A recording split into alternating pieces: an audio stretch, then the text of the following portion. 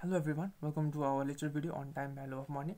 So on our chapter uh, in instant economics, so we'll be learning about time value of money. So this is going to be our introduction class. In our next video, we'll be talking more about this uh, chapter. So it is uh, not possible to complete all of this in a single video. So I'll be enlisting other chapter, uh, other topics related to time value of money on our playlist and we'll be continuing it as 3.0 3.1 3.2 and so on. You can find the link in the description box below. So firstly let's talk about time value of money.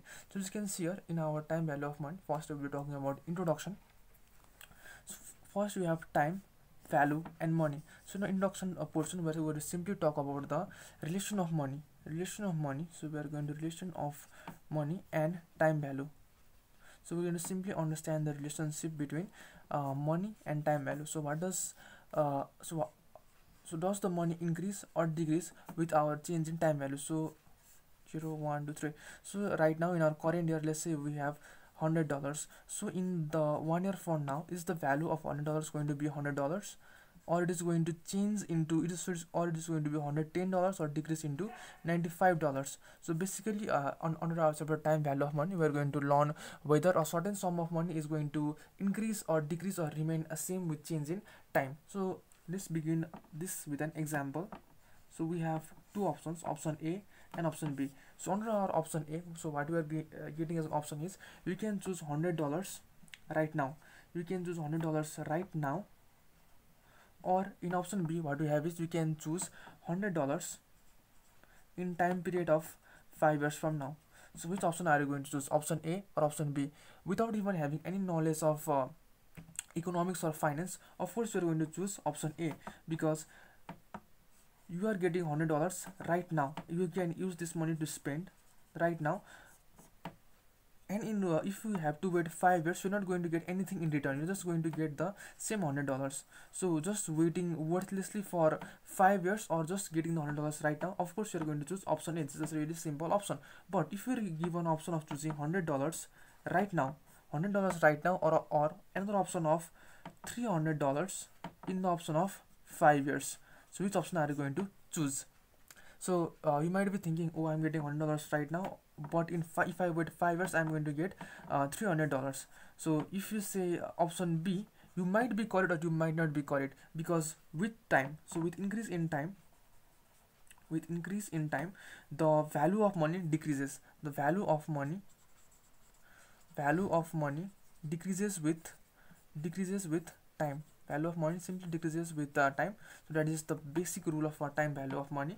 So in order to uh, in order to be in profit uh, for, for our option b we have to have greater sum. So right now uh, 300 dollars is more than uh, is more than 100 dollars but is it sufficient or not? So this is our so in order to understand this topic more clearly uh, we have terms like present value future value. So we'll be talking about this uh, talking about this later on. So let me give you one more example to understand time value of money more clearly. So let's say we have a packet of biscuit over here. Packet of biscuit. This is a packet of biscuit. So right now so right now uh, let's say you are uh, paying uh, paying 10 rupees to buy this packet of biscuit.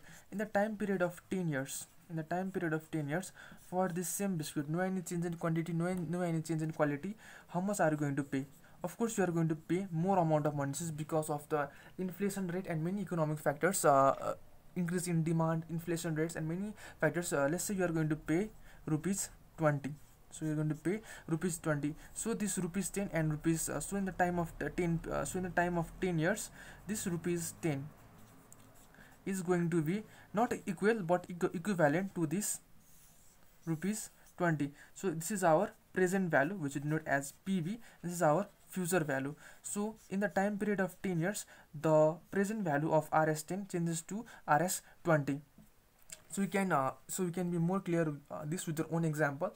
In our childhood uh, small amount of money like uh, uh, small amount of money had greater value. Suppose uh, let's say the rupees 20 or rupees 30 had greater value in our childhood while rupees 20 or 30 have no have have less or have less or no value right now. So right now the rupees 10 or uh, 10 or 30 might be equivalent to rupees 100 or rupees 150 which we use right now. So, so just the basic value of uh, a basic example of how money and time are related and with how with uh, time um, the money's value is going to be uh, is going to be is going to be different. So this is also known as our economic equivalence economic equivalence because uh, for uh, for the same product so for the same product biscuit uh, for the same product biscuit the price has changed. So the rupees 10 and rupees 20 are going to be econo economical equivalent. They are not economically equal they are economically uh, equivalent. We'll be uh, learning more about economic uh, equivalence in our further videos.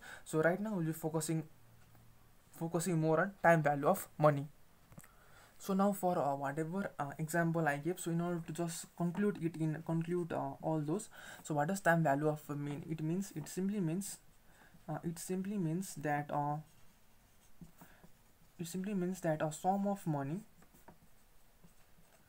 a sum of money is worth more now than the same sum of money in future then the uh, then the same sum of money in future. So this is what basically time value of uh, money means.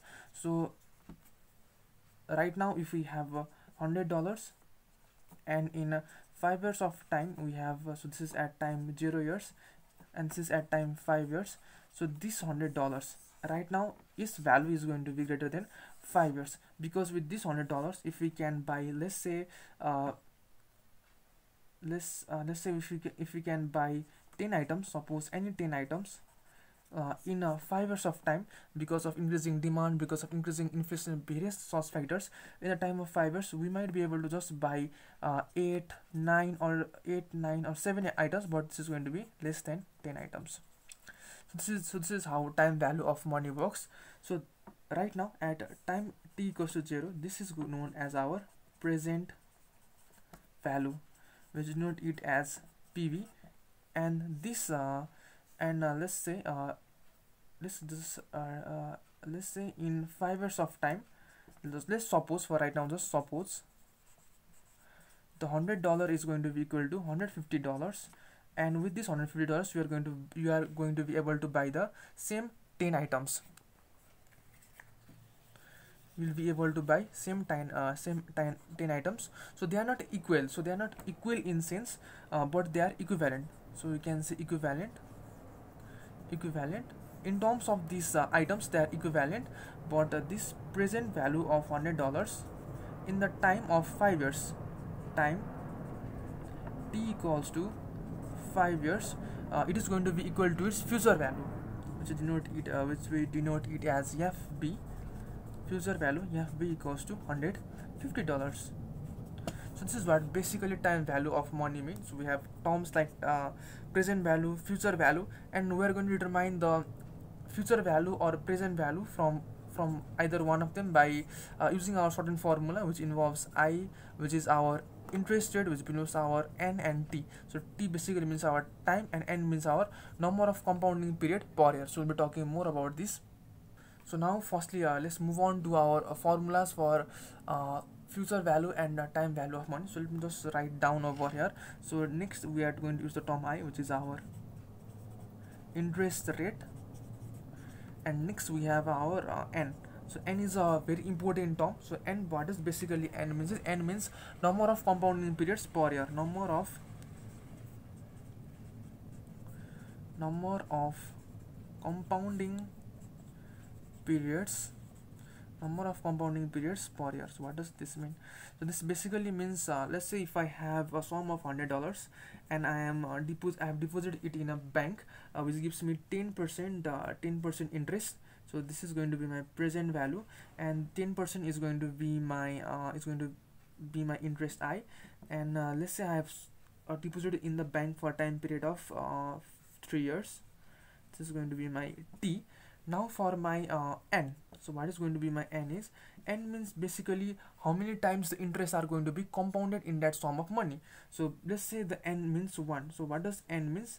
n means uh, what does n mean here? n means that n refers to 1 means that for that hundred dollars sum of money the interest is going to be applied once. It is going to be applied uh, once every year once every year. But let's say the value of n was 2 per year. It for one in a year. One in a year. So previously was once in a year which means the interest is going to be applied only once in a year. But if this was twice in a year it means this 10% rate is going to be applied every six months for a time period of two years. It's going to be it's going to be applied every uh, two years which means my actual interest rate for uh, uh for a year is 20% for a year is 20% this will be more exam more clear when we'll be doing a example. So let's move on to a numerical example. So before jumping into example so i've already uh, talked about our pv present value.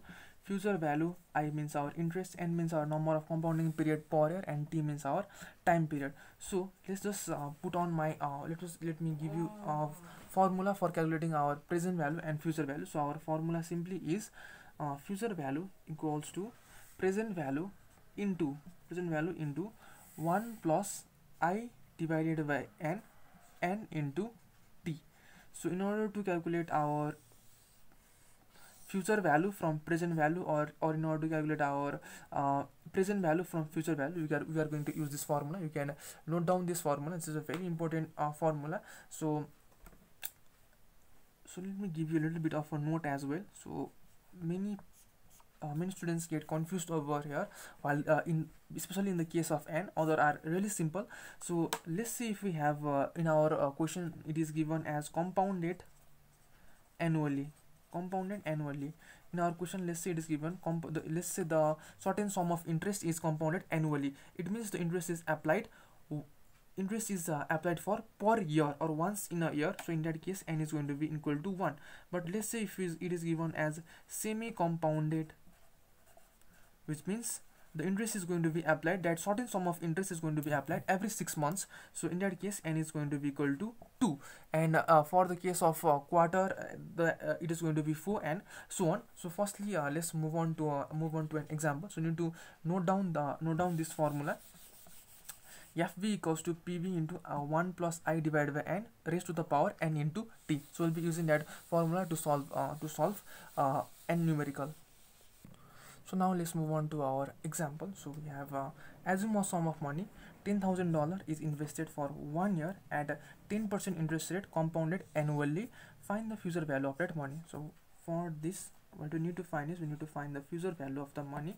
And we have been given uh, the present uh, present value of the money. The present value of money is given to us as pv is uh, given to us as ten thousand dollars. So we need to find the future value of this money uh, when it is in uh, when it is kept in a bank. So let's say it is kept in a bank for interest rate i equals to 10 percent the time t equals to one year. So we have our formula future value equals to present value into 1 plus i by n 1 plus uh, i by n raised to the power n into t. So we need our n which is our number of compounding periods per year. So we have our n which is which means compounded annually. So what does compound annually mean? I will explain this before. It simply means that this 10 percent rate is going to be for our per year. This 10 10 percent interest rate for this sum of money uh, is is for per year. So the interest is going to be calculated uh, for in per year once in a year. So we have n equals to 10 percent. So for a, a certain extra idea the sorry the n is going to be 1 n is going to be 1 so for uh so for um better understanding of this n the more the more is the number of the n the more uh, future value or the more profit we are going to get because the interests are going to be added quickly and quickly. So there is a so when n equals to infinity there is a concept called as continuous compounding which which will learn in our future videos. So in that case we are going to have maximum profit or the future is value is going to be maximum. So we'll be learn learn that in future videos. Uh, so do subscribe the channel and like our video to stay tuned for all our contents regarding engineering economics so next so in order to calculate our future value future value equals to we have our present value as ten thousand dollars into 1 plus i. So 10 percent means 0 0.1 so we're going to put 0 0.1 divided by n is 1 n is 1 so in our majority of the cases the n is going to be 1 because the interest rate in a banks on or uh, most of the cases the interest rate are going to be calculated annually. So next we have uh, 1 into 1 so we are going to get 10,000 into uh, 1 plus 0 0.1 is 1.1 so you're going to simply get $11,000 so what does this refer to? This simply refers to as uh, the $10,000 in current time is going to be equal to uh, is going to be equal to eleven thousand dollar in one year of time. In one year of time. So if you are given an option of choosing ten thousand dollar at right now or choosing eleven thousand eleven thousand dollar in one period of uh, after one year. So you so you will be uh, so you can choose any any of the options because you are uh, not going to be in profit or not going to be in loss but if you're given an option of choosing ten thousand dollars right now or let's say twelve thousand dollars or any sum of money greater than ten thousand dollar of uh, ten thousand dollar then you can wait a year because you're going to have more profit. So this is what basically uh, time value of money refers to.